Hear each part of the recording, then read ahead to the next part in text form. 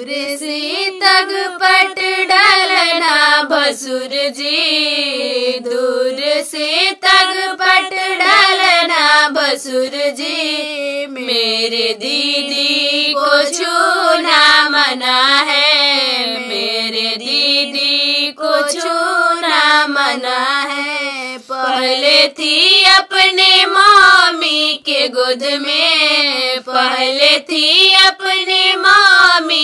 गोद में, अब उनसे अलग हो रही है। अब उनसे अलग हो रही है।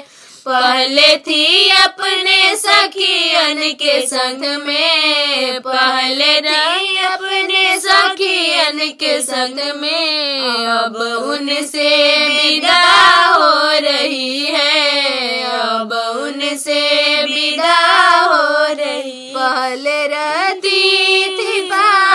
के गोद में पहले रहती थी पापा के गोद में। अब उनसे विदा हो रही है, अब उनसे विदा हो रही है। दूर से टंका चढ़ाना बसुर जी, दूर से तग पट डालना बसुर जी। मेरे दीदी